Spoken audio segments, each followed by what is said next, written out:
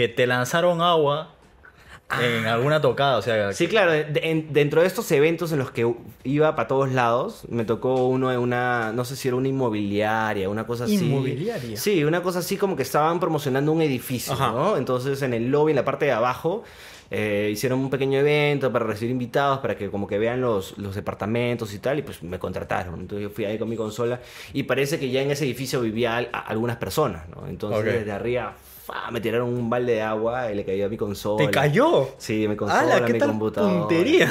Pero sí, buena puntería, porque yo ni vi de dónde, de dónde, de dónde salió. Me cayó, ¡pum! Y obviamente pues tuvo que parar todo y de puta madre la, la chica que ahorita no me acuerdo su nombre, pero ella como que se hizo cargo y compró todo de nuevo y tal. Ah, o sea, porque las la cosas estaban... me- no, estaban... eh, o sea, las sequé, pum, pum, y, estaban funcionando. Ya. ¿no? Pero vamos, o sea, le, ca- le cayó agua no solo en el laptop, sino, o sea, claro. no es lo mismo, ¿no? Entonces, este, y yo las tenía como casi nuevas ya prácticamente, ¿no? Estaban recién compradas.